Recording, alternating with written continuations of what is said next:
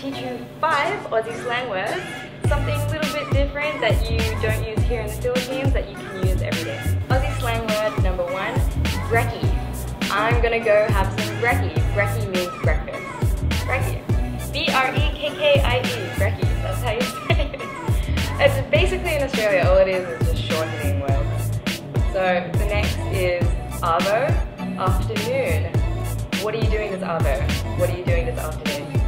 These are things I use every day people are like, sorry, what's arvo? Uh, next one is cuppa. I'm gonna have a cuppa, a cup of tea. Or it's usually tea. Yeah, cup of tea. Or coffee, but it's usually tea. I'd say no worries. No worries. Like don't worry about it. It's all good. No worries. How many is that for? Okay, next one is going off. So if something is going off, like a party that's going off, it's the Raja it's really good. Raja, that's another one. Uh, going up in Raja so it's going up. Going up.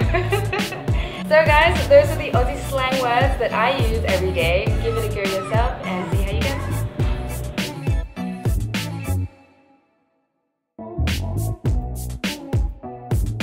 So guys, those are the Aussie slang words